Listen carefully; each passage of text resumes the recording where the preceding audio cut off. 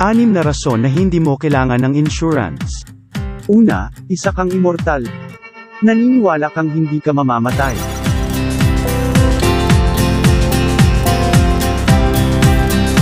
Pangalawa, sigurado kang mananalo sa loto.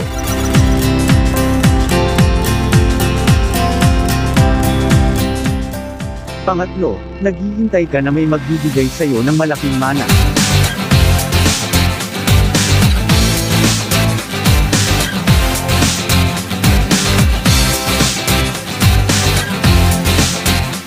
Pang-apat, tiwala ka na masusuportahan ka ng mga anak mo.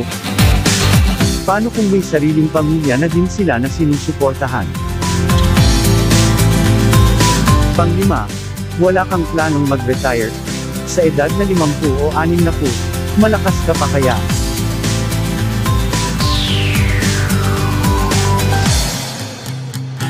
Pang-anim, ang gobyerno ang bahala sa'yo.